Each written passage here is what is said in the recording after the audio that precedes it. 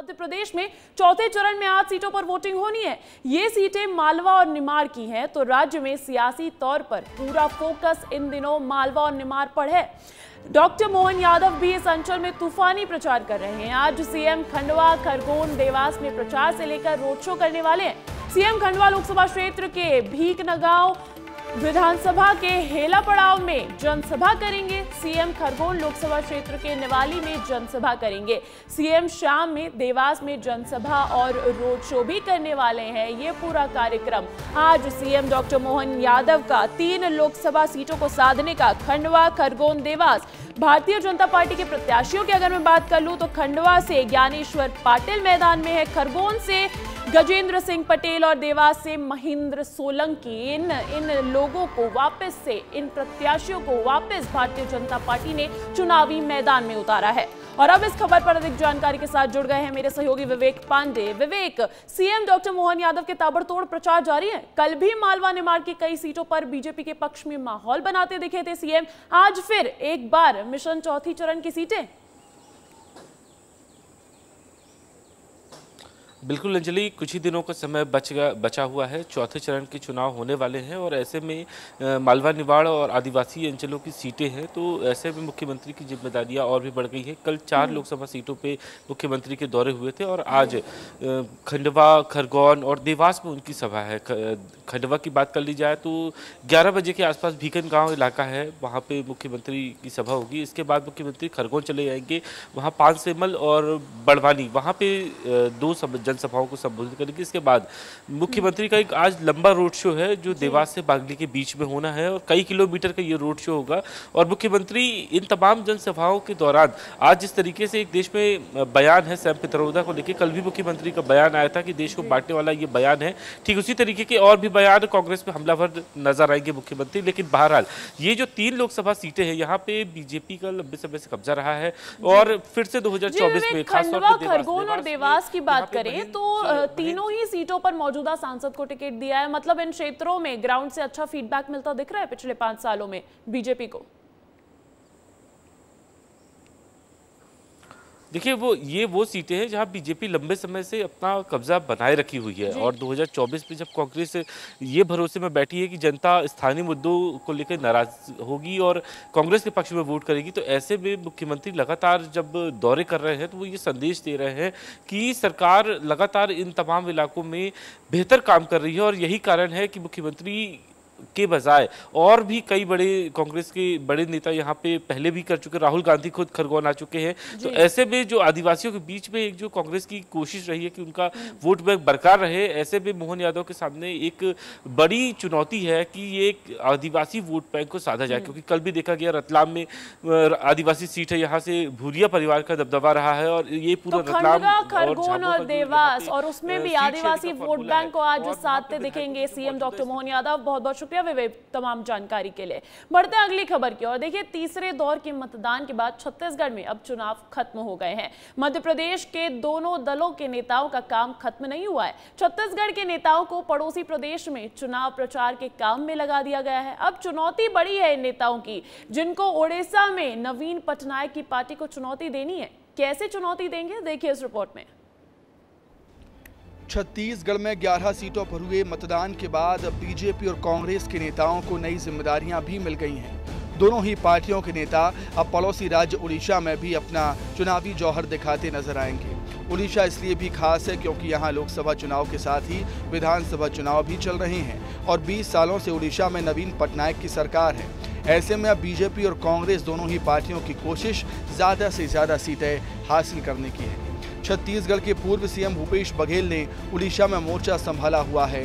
तो मुख्यमंत्री विष्णुदेव साय ने भी कोटपाड़, उमेर कोटे में चुनावी सभाएँ की। इसके अलावा डिप्टी सीएम अरुण साव नुआपाड़ा में प्रचार करेंगे। 11 मई को बीजेपी प्रदेश अध्यक्ष किरण सिंह देव कई इलाकों में बैठकें और कार्यक्रम में शामिल होंगे। अब जरा वजह जान लीजिए कि आखिर क्यों छत्तीसगढ़ के नेताओं को ओडिशा में चुनाव प्रचार के लिए भेजा जा रहा है। ओडिशा के कई इलाके छत्तीसगढ़ से लगे हैं। पूर्ववर्ती इलाके में छत्तीसगढ़ का प्रभाव है।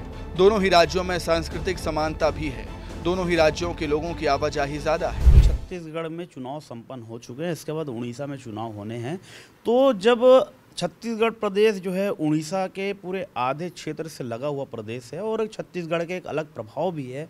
उड़ीसा के जो पूर्ववर्ती इलाके हैं वहाँ तो इस को देखते हुए छत्तीसगढ़ के तमाम नेता, माननीय मुख्यमंत्री जी से लेकर मंत्रियों तक का और माननीय प्रदेश अध्यक्ष जी से वरिष्ठ नेताओं का भी वहाँ पर प्रवास है, ताकि वहाँ पर भारतीय जनता पार्टी के जो भी प्रत्याशी खड़े हैं, उनका सहयोग कर सके इस वहीं कांग्रेस के संगठन महामंत्री मलकीत सिंह गौदू का कहना है कि जिन जिन जगहों पर प्रदेश के नेताओं की मांग हो रही है वहाँ पार्टी के नेता प्रचार करने जा रहे हैं। कल जो है हमारा सात लोकसभा का चुनाव कल ख़त्म हुआ और आज हमारे सारे नेता जो हैं वो उड़ीसा में जहाँ जहाँ डिमांड आ रही है जहाँ जहाँ प्रत्याशियों का जहाँ जहाँ हमारे पार्टी फोरम अपने पार्टी से जहाँ भी जिनकी बात आ रही है वो जाके वहाँ चुनाव प्रचार कर रहे हैं। छत्तीसगढ़ के नेता उड़ीसा के दौरे पर चल पड़े हैं। लेकिन उड़ीसा के चुनाव में कितना असरदार होंगे और अपनी अपनी पार्टी के लिए कितना माहौल बना पाएँगे, ये देखने वाली बात होगी। Bureau report, Vistaar news.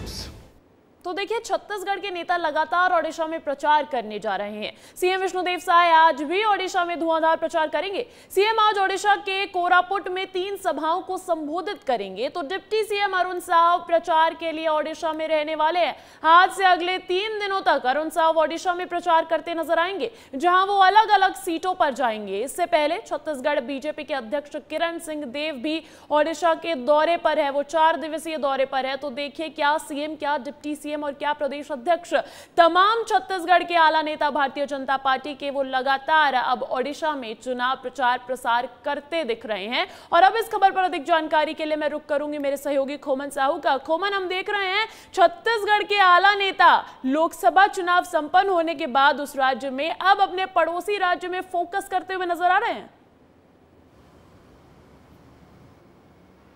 देखिए निश्चित तौर पर अंजलि जिस तरीके से छत्तीसगढ़ के नेताओं की ड्यूटी उड़ीसा में लगाई गई चाहे मुख्यमंत्री विष्णुदेव साय की बात की जाए उप मुख्यमंत्री अरुण साव की बात की जाए या किरण सिद्धो जो बीजेपी के प्रदेश अध्यक्ष है इसके अलावा जो कांग्रेस के आधा दर्जन से ज़्यादा नेता है, चाहे पीसीसी चीफ दीपक बैच की बात करूँ, या पूर्व मुख्यमंत्री भूपेश बघेल की बात करूँ, या पूर्व मंत्री कवासी लखमा की बात करूँ, पूर्व प्रदेश अध्यक्ष है, मोहन मरकाम उसकी बात करूँ, तमाम नेताओं को ऐसे ऐसे सीट पर भेजा जा रहा है जहाँ जहाँ उन, उसके समाज का, उनका प्रभाव, क्योंकि उड़ीसा छत्तीसगढ़ से सटा हुआ राज्य है। ऐसे में जो उड़ीसा की संस्कृति है उनकी सहजता है उनको बहुत अच्छे से छत्तीसगढ़ के नेता समझते हैं। हम्म। मुख्यमंत्री विष्णुदेव साय की बात कर लूँ तो अंजलि जहाँ जहाँ आदिवासी वोटर है उन उन लोकसभा उन उन विधानसभाओं पर सीएम विष्णुदेव साय की जो है सभा कराई जा रही है। आज भी तीन सभाओं को मुख्यमंत्री जो है संबोधित करते हुए नज़र आएँगे।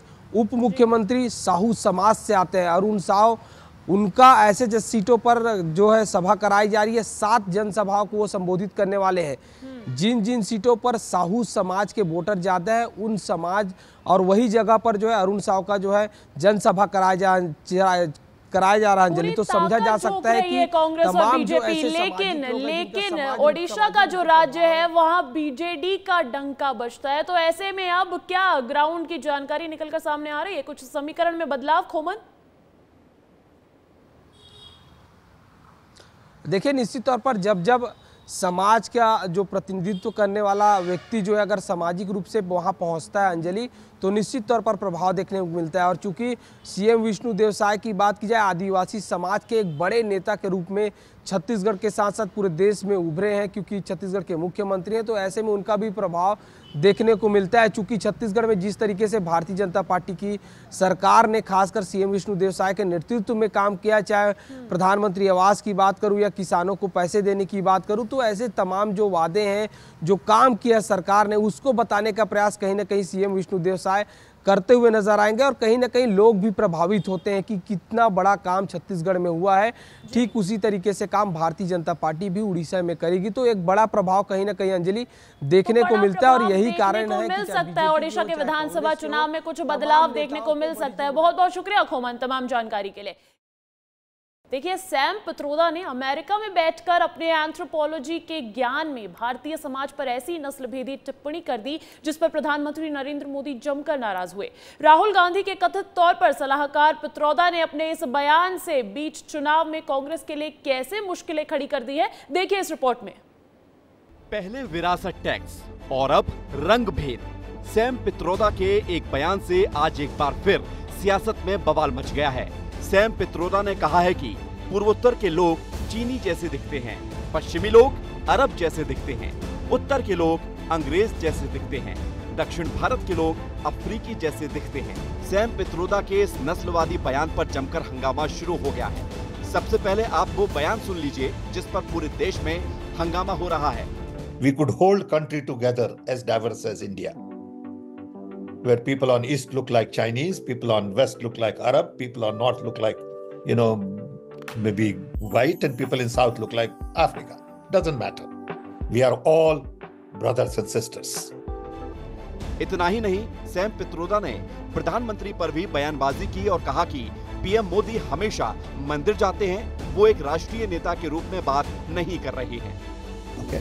So that idea of India, which is rooted in democracy, freedom, uh, liberty, fraternity, is being challenged by Ram Temple and Ram Navami and Prime Minister going to temple all the time and you know talking, you know, not as a national leader, but talking as a leader of the BJP.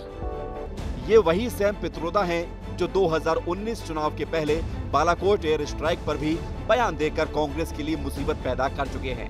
Pulwama attack के बाद जब भारत ने पाकिस्तान के घर में घुसकर मारा तो अंकल सैम ने ही कहा था, दुनिया के साथ डील करने का सही तरीका नहीं है। अंकल सैम के विवादित बोल, मार्च 2019 बालाकोट एयर स्ट्राइक पर सवाल उठाए। मई 2019 सिख विरोधी दंगों पर बोले, हुआ तो हुआ। जून 2023 मंदिर बेरोजगारी का समाधान नहीं करेंगे। जनवरी 2024 अंबेडकर की तुलना में नेहरू ने संविधान में ज़्यादा योगदान दिया। अप्रैल 2024 देश में विरासत टैक्स पर बात होनी चाहिए। इस तरह की टिप्पणियों से सुर्खियाँ बटोरने वाले अंकल सैम का बयान सुनने के बाद प्रधानमंत्री नरेंद्र मोदी भड़क उठे और करारा जवाब दिया। आपको जवाब देना पड़ेगा। चमड़ी के रंग के आधार पर मेरे देशवासियों का अपमान मेरा देश सहन नहीं करेगा और मोदी तो कतई नहीं करेगा। सैम के बयान से एक बार फिर कांग्रेस पार्टी में चिंता का माहौल पैदा हो गया है और बीजेपी को बैठे बिठाए कांग्रेस को घेरने का एक नया मुद्दा मिल गया है। अंकल सैम पर बीजेपी के नेता जमकर पलटवार कर रहे हैं। कितना बांटोगे जाति के नाम पे, क्षेत्र के नाम पे देश को? लेकिन कांग्रेस का घिनौना चेहरा, पशुधन स्त्री धन छीनने वाला, आपकी संपत्ति छीनने वाला, और अब आपको जाति के नाम पर नीच, नीचा दिखाने वाला सामने आया है, जिसकी हम निंदा करते हैं। ये इंडी गठबंधन बना करके भारत को तबाह करना, क्योंकि उनको भारत से कितना प्रेम है, मैं नहीं जानता, लेकिन जिसको प्रेम रहेगा वो ऐसे लोगों के स्टेट सैम पेट्रोडा के स्टेटमेंट को नकारने का काम करेगा। सैम पित्रोदा साहब ने भारत भारतीय संस्कृति भारत की पहचान और भारतीय लोगों की पहचान के बारे में बेहद आपत्तिजनक बयान दिया है। सिर्फ़ बीजेपी ही नहीं सैम पित्रोदा के इस बयान से कांग्रेस भी बैकफुट पर आ गई है। इंडिया गठबंधन ने भी सैम पित्रोदा के बयान से खुद को अलग कर लिया है। सैम पित्रोदा द्वारा भारत की अनेकताओं को जो उपमाएँ दी गई हैं वो बिल्कुल गलत है दुर्भाग्यपूर्ण है और अस्वीकार्य है। बिल्कुल अस्वीकार्य है। भारतीय राष्ट्रीय कांग्रेस इन उपमाओं से अपने आप को पूर्ण रूप से अलग करती है और इसका खंडन करती है। और दूसरी तरफ़ की सैम पिट्रोडा अमेरिका में बैठकर क्या बयानबाजी दे रहे हैं? ना हमें उससे कोई लेना देना है ना ये देश का मुद्दा है। जहाँ तक सैम पेट्रोदा के बयान का सवाल है उस तरह के बयान का कहीं दूर दूर तक इंडिया गठबंधन का कोई भी व्यक्ति समर्थन नहीं करता। मौसम चुनावी है और सैम अंकल ने नस्ल पर बयान देकर कांग्रेस का पूरा मामला डिरेल कर दिया है। अब देखना है कि चुनाव में इसका कितना असर होता है। Bureau report, Vistaar news. देखिए, इस एक बयान से सियासी हलचल तेज हो गई है, प्रतिक्रियाएँ आ रही हैं। सैम पित्रोदा के बयान पर सीएम डॉक्टर मोहन यादव ने भी तीखी प्रतिक्रिया दी है। उन्होंने कहा कि ऐसे बयान कांग्रेस की कथनी और करनी में फ़र्क दिखाता है। साथ ही उन्होंने कहा, ऐसे बयान शर्मनाक है।